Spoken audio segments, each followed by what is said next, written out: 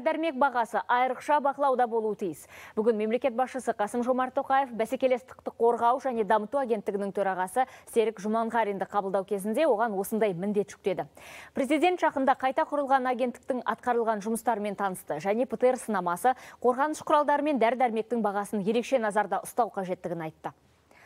Сондай Қасым Жомарт Тоқаев агенттік басшысына экономиканың тиімділігін арттыруға, тауар биржасы мен бәсекелестікті одан әрі дамытуға қатысты бірқатар тапсырмалар берді.